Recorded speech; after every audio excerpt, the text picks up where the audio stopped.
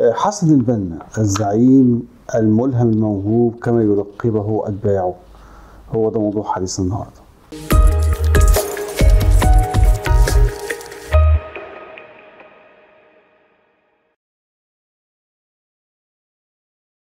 السادة المشاهدين أهلا بكم. إحنا مشكلتنا مش مع الأشخاص أنا ماليش علاقة حسن بنا جذوره إيه اتولد فين جه منين. يعني الأمور اللي هي الشخصية والإنسانية ربما يتحدث فيها آخرين ولكن هذا لا يهمني أنا يهمني الأقوال اللي هو قالها نفسه. أنا طبعا أنا عامل حلقات اسمها رسائل التكفير بتكلم عن رسالة رسالة ولكن النهارده هنا هقول حلقة مجمعة. يمكن ذكرتها قبل كده بس لازم أفكر بيها الناس. ليه؟ لأن هم لما لغوا البرنامج بتاع محمد ناصر وفي مكملين فوجئت إن هم عملوا حلقة نقاشية كده جايبين ياسين أقطاي وثلاثة أربعة من أقطاب الإخوان المسلمين.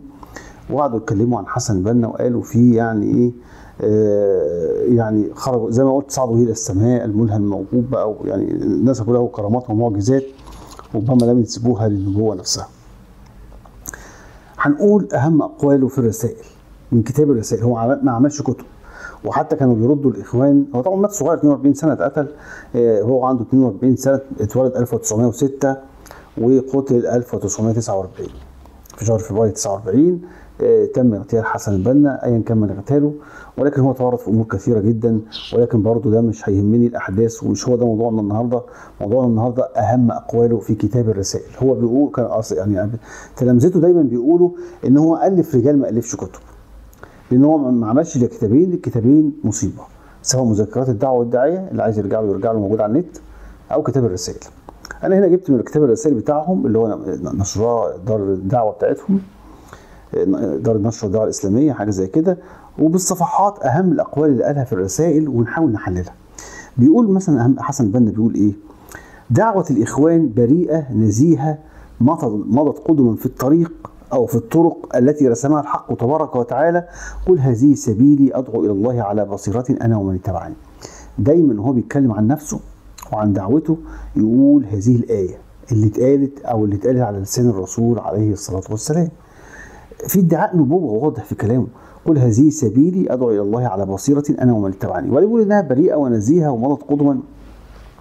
خلي بالكم الفقهاء اختلفوا في أفعال الرسول نفسها. هل كلها تشريعية؟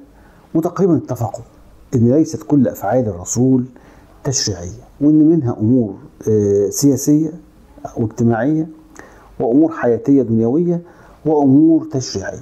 وبدأوا يصنفوا واستدلوا على ذلك إن القرآن جه أكثر من مرة عدل على قرارات نبوية سواء آه، نزولا على أمر عمر أو بناء على توجيه أحد الصحابة وعاتبه في مواقف عبس وتولى و- و- والزهار و- وغيره. يعني كان في عتاب للنبوة في أكثر من موقف. آه، ويعني يعني بشكل أو بآخر فقالوا إن في أمور حياتية. وبعدين موضوع إيه؟ زي ما قلنا اللي قلناه قبل كده كتير أنتم أعلم بشؤون دنياكم. فاذا الرسول نفسه ارتكب أفعال تم تخطئها بعد كده سواء من القرآن الكريم آه، وتصويبها.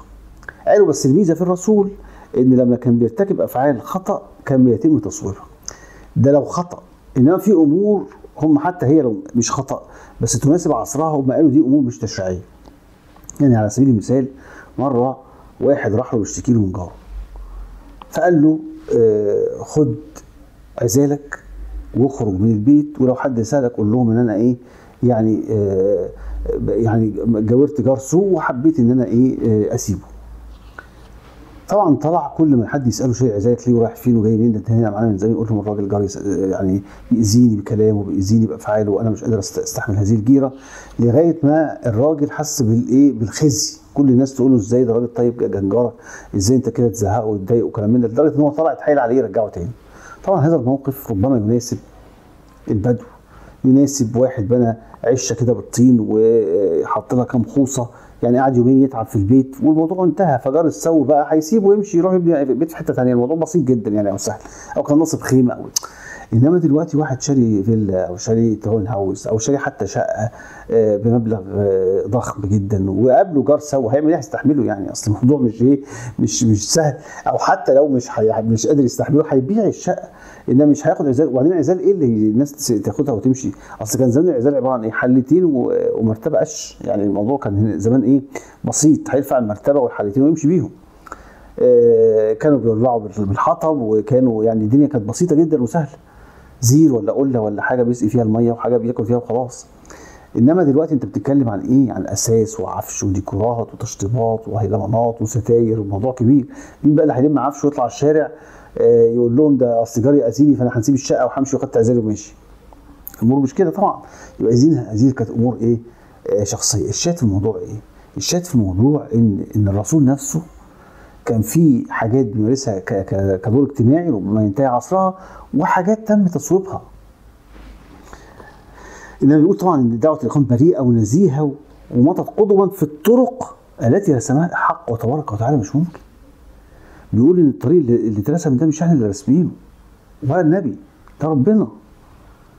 في الطرق التي رسمها الحق تبارك وتعالى الاغتيالات والحاجات دي رسمها الحق تبارك وتعالى. من وجهة نظر حسن البنا وفي كتاب الرسائل. رسالة دعوته الناس اصناف أربعة مؤمن ومتردد ونفعي ومتحامل. تصنيف الناس ده كان هاجس عند حسن البنا إن هو يصنف الناس. يصنفهم طبقا لتنظيمه أو لجماعته. فبيقول بقى إيه؟ المؤمن زي الصحابة الأوائل اللي هو قصده يعني إيه؟ اللي حوالين الرسول. والمتردد زي المترددين من هو قصده المؤمن بالدعوة بتاعته والتنظيم بتاعه. المؤمن زي الصحابة الأوائل اللي هيؤمن بدعوتنا يبقى زي الصحابة الأوائل. آه، والمتردد زي المترددين من أتباع الرسل. والنفعي إن كشف الله الغشاوة عن قلبه سينضم إلى كتيبة الله والمتحامل يلج في غروره ويزدر في شكوكه ويظل مع أوهامه. وبيقول بعدها إيه؟ إنك لا تهدي من أحببت ولكن الله يهدي من يشاء. بيتكلم عن الكفار آه، آه، ربنا بيقول للرسول على الكفار يعني خلاص يعني أنت حاولت مع الناس لأن هم حاول يكلم زعماء قريش وحاجات زي كده وبعضهم آمن وبعضهم ما آمنش. فبيقول إنك تهدي من أحببت ولكن الله يهدي من يشاء. بيعمل محاكاة للنبوة. هو النبي قل هذه سبيلي وإن الطريق الطريق ده رسمه ربنا وإن المؤمن بينا آه، يبقى ده زي الصحابة الأوائل واللي واللي كافر بينا إنك لا تهدي من أحببت ولكن الله يهدي من يشاء. الهدايه فكرة التنظيم هو الدين هو هو الهداية. وحتى وإحنا كنا في التنظيم زمان يقول لك ربنا هداك إمتى؟ إحنا ما كناش مثلا فساق ولا جايين بنخمره وإحنا الجامع لا إحنا نصلي في الجامع. يعني طول عمر الطاقه المتوسطه أقرب منها للتدين يعني. ولكن ربنا هداك إمتى؟ يعني دخلك التنظيم إمتى؟ الهداية. الهداية هو دخول التنظيم. وما كانش يسموها التنظيم في السبعينات والثمانينات كانوا يسموها الدعوة. لأنه طريق الدعوة. الدعوة إيه؟ الدعوة إلى الله. فأنت كنت بره الدعوة إلى الله وكانها الدعوه إلى الشيطان يعني وانتقلت إلى الدعوة إلى الله. والمقابل بتاعها ربنا هداك إمتى فتقول والله ربنا هداني في الوقت الفلاني. على إيد مين؟ على إيد فلان. ده اللي هداك إلى طريق الإيه؟ الدعوة. وكأنك كنت في طريق الإيه؟ الضلال. فكرة المطابقة بين الدين والتنظيم كانت آه، شديدة القسوة. من كتب من كتاب الرسائل. الادعاءات إن سيد قطب هو اللي انحرف في الجماعة وإن حسن البنا كان كيوت ده كلام طبعا آه، ليس صحيحا ودي أقوال وارجعوا ده الكلام ده صفحة 18 و19 و20 من صفحة دعوات من من من رسالة دعواتنا اللي هو آه، آه، النشر والدعوة الإسلامية اللي هو الدار بتاعتهم اللي هي طبعه لأن هو أكثر من طبعه من دور تاني اقرأ وغيرها وكلام من ده. بيقول إيه بقى قومنا إيمانهم نائم مخدر وإيمان الإخوان المسلمين ملتهب مشتعل قوي يقظ. الإيمان بتاع الناس اللي بتصلي وبتصوم وبتزكي وبتتصدق وتربي عيالها وعايشة حياتها بشكل أو بآخر أقرب إلى الإيمان يقول ده ايمان نائم مخدر. إنما الإيمان اليقظ فين؟ اللي هو تبعنا اللي هو معانا. مشتعل قوي يقظ. من شاء أن يفهم دعوة الإخوان المسلمين فليمسك بمصحفه وليجرد نفسه من الهوى والغاية ثم يتفهم ما عليه القرآن فسيرى في ذلك دعوة الإخوان المسلمين. طبعا القرآن حمل أوجه وفي محكم وفي متشابه وفي آيات قتال وفي آيات آه، آه، يعني أقرب إلى ال- الرحمة يعني أو يعني من شاء فليؤمن ومن شاء فليكفر في آيات كده وفي آيات كده. وبعدين علي بن أبي طالب قال آه، يعني ه- هم قالوا إن الرسول كان قرانا يمشي على الأرض بس ده مين الرسول؟ كان قرانا يمشي على إيه؟ على الأرض. إنما آه، حسن يعني لما راح لموضوع التحكيم في الحرب بتاعت علي ومعاوية قال لهم إن القرآن هو يعني كتاب بين دفتين لا ينطق بلسان ولكن ينطق به الإنسان. دايما الآيات حماله أوجه وقابله التفسير ذات اليمين وذات اليسار يعني ممكن تفسر كده وتفسر كده. فإيه بقى انك جرد نفسك من الهوا واقرأ القرآن إحنا الإخوان المسلمين. فكلام طبعا إيه آه، أوهام بيعملها للإيه للأتباع. بيقول وطنيتنا حدودها العقيدة ووطنيتهم حدودها التخوم الأرضية والحدود الجغرافية. غير مؤمن بالحدود الجغرافية الحدود بتاعتنا العقيدة. كل واحد مسلم يبقى ده تبع الإيه الوطنية بتاعتنا. فكرة الأممية الإسلامية اللي ممكن تفرق الأمم كلها. لأن المسلمين زي ما قلنا كان زمان التمدد الجغرافي مع التمدد الديني. يفتحوا حتة يبدأ الناس تسلم أو تقبل على الإسلام بشكل أو بآخر ايا كان والمناطق الثانية ما فيهاش ما فيهاش مسلمين. إنما دلوقتي اتضربوا في الخلاط. ما فيش حتة في العالم ما فيهاش مسلمين. ويسمح لها بحريه الإيه؟ الاعتقاد بشكل أو بآخر. بيقول بقى إيه؟ وتكونوا شهداء على الناس. القرآن الكريم يقيم المسلمين أوصياء على البشرية القاصرة ويعطيهم حق الهيمنة والسيادة على الدنيا. أدي بقى القرآن اللي بيتكلم عنه. فسر الآية اللي هي وتكونوا شهداء على الناس إن الآية دي بتعطي الإخوان المسلمين إنهم أو المسلمين من وجهة نظره الوصاية على البشرية القاصرة إن البشرية القاصرة وإحنا أوصياء عليها عشان نعرفهم الإيه؟ الحق. ويعطيهم حق الهيمنة والسيادة على الدنيا. الدنيا. حسن البنا اللي طالع من قرية صغيرة من المحمودية عنده مشاكل أيا كانت يعني عايز يحكم الدنيا. وإنه يهيمن على الدنيا ويقول إن القرآن هو اللي قال كده. وتكونوا شهداء على الناس. ما هو ده تفسيره لآية نص القرآن اللي هو بيقول لك بقى بص للقرآن من غير هوا هتلاقي الإخوان المسلمين. بيقول عقيدة الإخوان المسلمين يحيون بها. ويأملون الخير فيها ويموتون عليها. عقيدة الإخوان المسلمين مش عقيدة الإسلام. يعني جعل الإخوان المسلمين في حد ذاتها عقيدة مختلفة. بيقول يموتون عليها. يعني لما صبحي صالح قال اللهم أمتني في الإخوان المسلمين ده كان فاهم كلام حسن البنا صح. إن في عقيدة الإسلام وفي عقيدة الإخوان المسلمين في عقيدة الإسلام وفي عقيدة الإخوان المسلمين واللي هو امتني إخوان المسلمين أو امتني على بيعة الاخوان المسلمين. ولما مرة راحوا دعوا لواحد كده كان في الآخر تمرد كده وحققوا معاه يعني زي فصلوه أو جنبوه قالوا أعطيه أجر من كان في الإخوان. يعني مش هاخد أجر اللي هو في الإخوان في العقيدة بتاعت الإخوان لا ده انحرف عن العقيدة بتاعت الإخوان المسلمين. فهياخد أجر أقل إن هو كان في الإخوان إنما إيه يعني عقيدة الإخوان المسلمين بتاعته حصل فيها شرخ. عقيدة الإخوان المسلمين لحسن البنا صفحة 49 عقيدة الإخوان المسلمين. سنجاهد بنشر هذه الدعوة بالحجة والبرهان. خلي بالكم. خلي بالكم. اللي بيقول لك العنف سيد خد سنجاهد بنشر هذه الدعوة بالحجة والبرهان. فإن أبوا إلا العسف والجور والتمرد فبالسيف والسنين. القوة أضمن طريق لإحقاق الحق. حسن بنا اللي هم الموهم الموهوب بقى واللي هم بيحاولوا ينزهوه عن الأعمال القتل والإرهاب وإنه مش مش حسن ده أهو حسن بنا اللي بيقول ارجعوا للرسائل سيبكم الأوهام اللي بيروجها أتباع الإخوان المسلمين أو أتباع الإسلام السياسي. سنجاهد بنشر الدعوة بالحجة والبرهان. نفعت الحجة والبرهان كينا بها فإن أبوا إلا العسف والجور الدعوة قصد دعوة الإخوان المسلمين.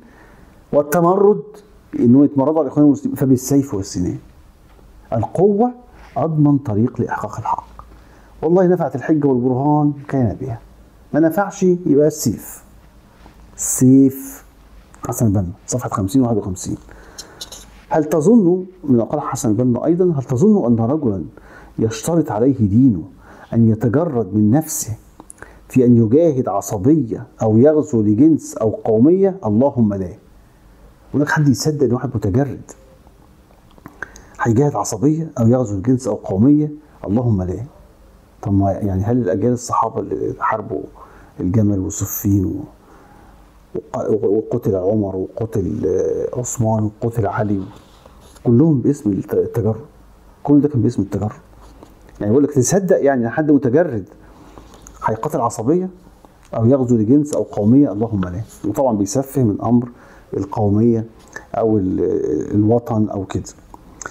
بيقول بقى القضاء على الحزبية وتوجيه قوى الأمة السياسية في وجهة واحدة وصف واحد. خلي بالكم كان في حركة سياسية آه، منتعشة. الوفد والاحرار الدستوريين والحزب الوطني وغيره. مصر الفتاوى. كتير. احزاب كتير جدا. حزب الأمة. احزاب كتير جدا. وخلي بالكم بعضها كان بيتكلم باسم الدين برضه الحزب الوطني بتاع مصطفى كامل كان أقرب يعني إن هو حزب ديني يعني في بداية نشأته. آه، بيقول بقى إيه هو عايز يقضي على الحزبية تماما ما أصل هم دول عاملين له قلق والناس مؤمنة بالوفد والدنيا والحكاية والرواية. وبعض أتباعه كانوا يحضروا معاه شوية ويروحوا يحضروا مع الوفد شوية فرجل ورجل فعاملين له قلق الأحزاب دي عاملة له إيه قلق وتوتر فبيقول لك دي ضد الدين. إن انهى القضاء الحزبية وتوجيه القوى الامه السياسية في وجه واحد عايز يبقى حزب واحد هو الحزب بتاعه فقط وكل الأحزاب دي تنتهي لأن هو شايفها إنها فرقة للدين. من ضمن الحاجات اللي قالها في رسالة نحو النور إن هو عايز يستخدم المقاهي في تعليم الأميين القراءه والكتابة وقال لك طبعا البنات ما يتعلموش الا يقعدوا في البيت يتعلموا تعليم بسيط كده التفصيل والخياطة وما يتعلموش لغات يعني كان عنده أفكار كده غريبة اللي هو ال- ال- الأطر التنفيذية اللي عايز ينفذها لدولته الإسلامية أو حزبه اللي هو بيتكلم باسمه. التفكير في الوسائل المناسبة لتوحيد أزياء الأمة تدريجيا. عايز يلبس الشعب كله يونيفورم واحد. اللي هو كمان مش شعب بس ده بيتكلم عن الأمة.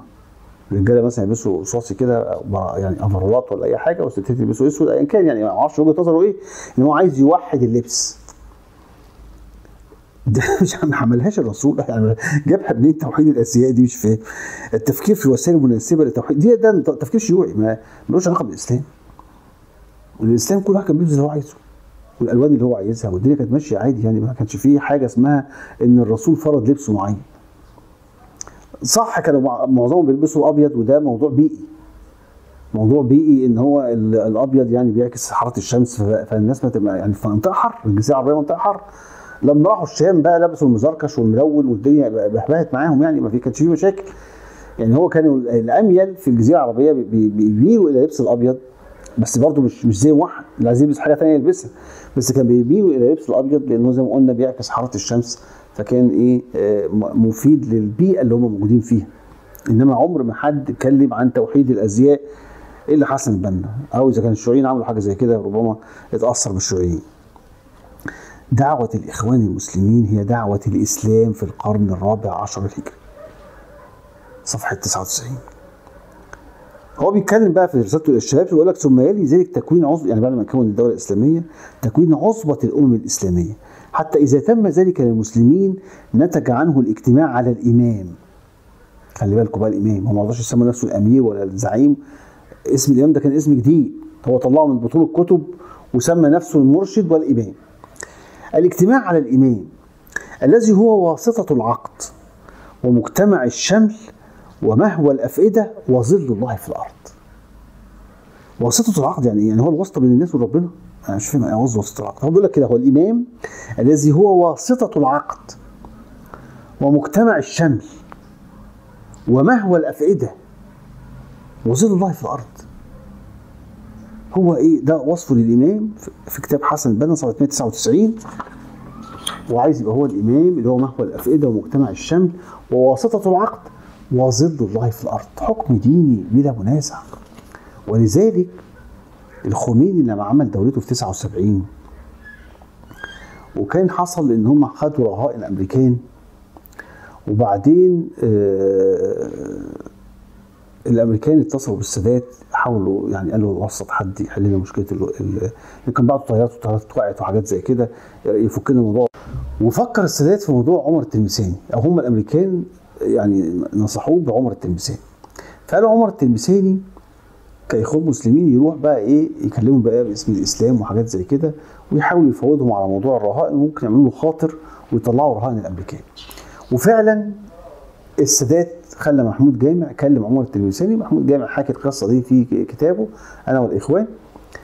وبعدين السادات بيسمع الخميني وحد بيترجم له يعني الخطاب بتاع الخميني فلقاه بيشيد بحسن البنا.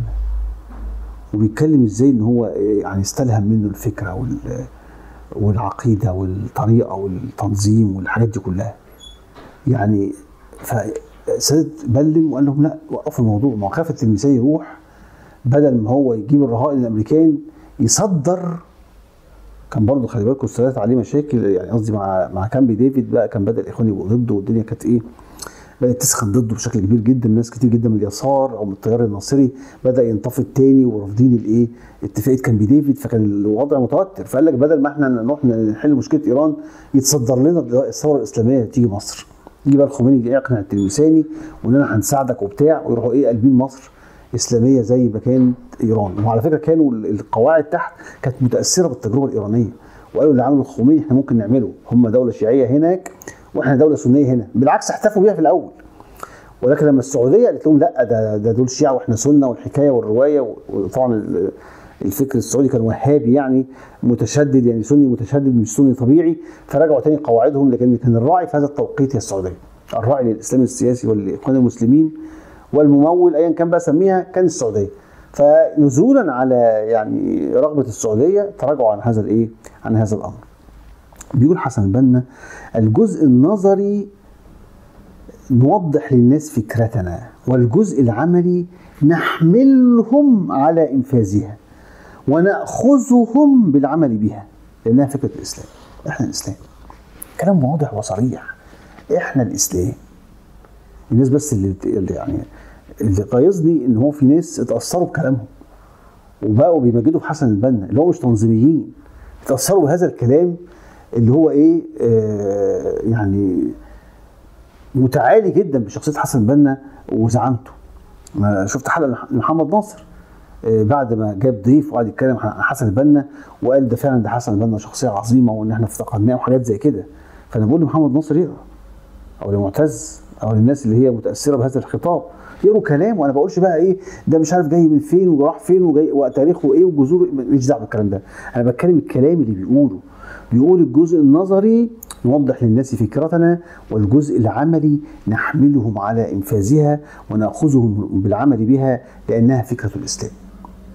بيقول سنسير بخطوات ثابتة إلى تمام الشوط وإلى الهدف الذي وضعه الله لنا للذي وضعناه لأنفسنا. ده مش بيقول بقى كمان إنها فكرة الإسلام إن الفكرة بتاعتنا فكرة الإسلام. تطابق أهو. تطابق ما بين التنظيم والإسلام والدين. تطابق ما بين الدين والتنظيم. لا ده مش كده كمان. ده بيقول إن الهدف ده اللي وضعه ربنا. ده مش أنا اللي بقول يا جماعة ده ربنا اللي بيقول. أهو. سنسير بخطوات ثابتة إلى تمام الشوط وإلى الهدف الذي وضعه الله لنا الذي وضعناه لأنفسنا. بيقول إن إن أمنتم بفكرتنا واتبعتم خطواتنا فهو خير لكم.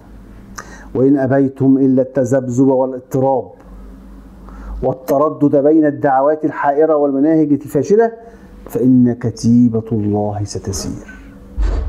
ده مش كتيبتي دي كتيبة ربنا ده حزب الله ده طريق ربنا. ربنا اللي رسم الهدف وهو اللي حط الخطوات ده الإسلام.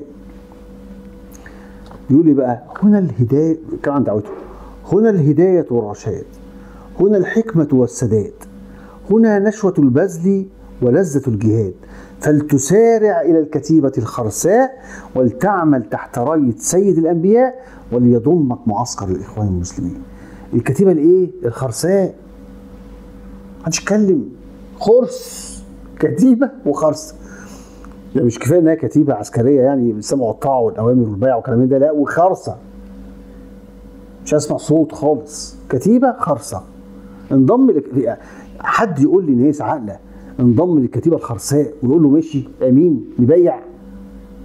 ده كلام حسن البنا في رسالة تحت رايه القرآن صفحة 109 كنا الهدايه والرشاد يا جدعان والله النبوه ما قالت كده على على في العصر النبوي.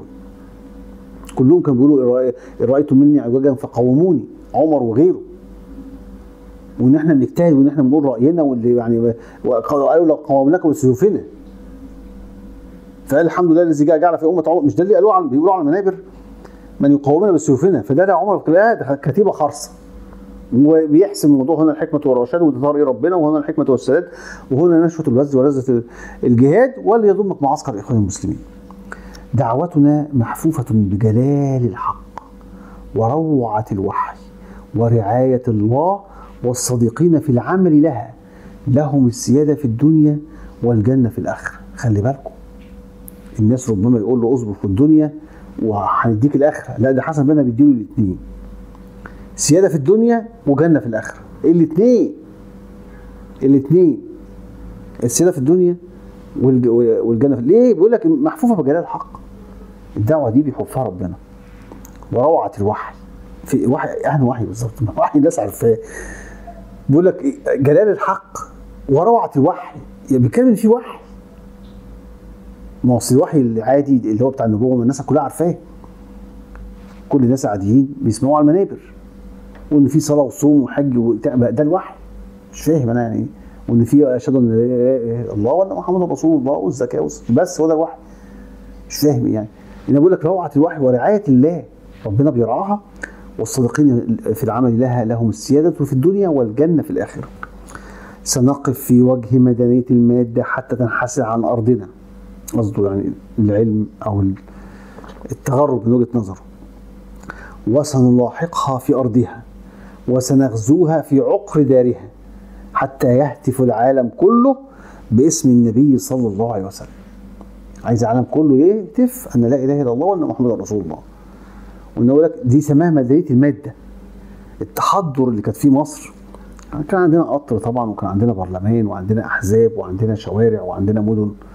والعربيات كانت بدأت تظهر في بدايتها كده والدنيا يعني كانت القاهرة مدينة حديثة يعني كانت مدينة من أحدث المدن يعني في العالم كانت متصنفة من أربع عواصم في العالم.